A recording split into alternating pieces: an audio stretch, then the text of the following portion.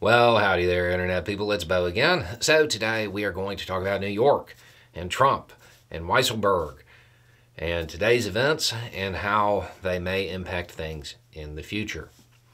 Okay, so if you have missed the news, aren't aware, Trump Organization's chief financial officer has uh, reportedly entered a uh, entered a guilty plea for perjury. Allen Weisselberg, who I want to say is 76 years old. The allegations are that he uh, perjured himself, provided false information during Trump's civil case. Now, it's important to remember that the New York Times broke a story back in February suggesting negotiations were underway for this plea agreement, um, for the guilty plea. And the judge in the civil case asked about it, and I am uh, not certain he's going to be happy with these developments based on what it seems he was told at the time. Okay, so what happens to Weisselberg? We don't know yet.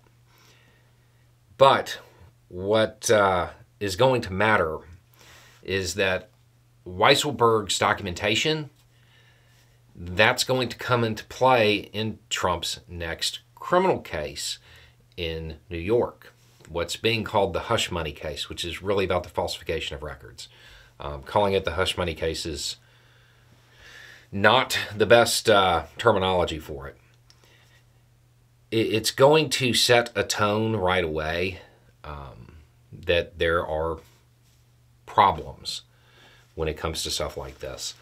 Um, so, even though this event is relatively small and it doesn't really impact Trump directly, the odds are that this this development, Weisselberg pleading guilty, um, it's probably going to have downstream effects for Trump that are going to impact him more negatively than he might imagine, I think.